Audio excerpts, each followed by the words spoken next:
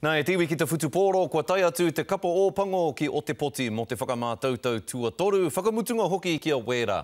Ko te pātai nui pea, āe rānei ka takatū ake a Aaron Cruden mō tēnei o ngā tākaro, ā, ki te kore, ko wai ka whakakapi ake i tōna tūranga?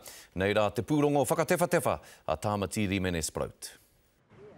He whakangungu te mahi, ahakoa kua riro kē i te Kapustein Lager.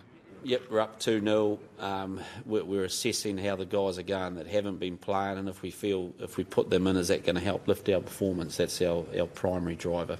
E tika ana pea tēnei kēmu kia tākaro ētahi torekai huruhuru, pēnei i a Elliot Dixon rāua ko Liam Squire, o te takiwa o te poti. Look, I'd love to say yes, because then the people of Otago might like me a lot, but um, the answer is no, we don't factor it in. If people get a chance to be an All Black, it's it's because they've earned it, not because of the ground we're playing on.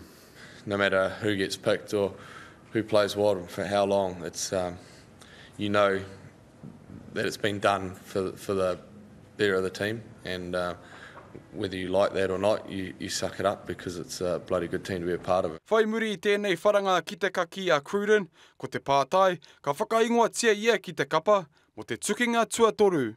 He's come through really well. We're excited with the news. The scans have come through clear. He's um, he's a bit stiff in, in his neck.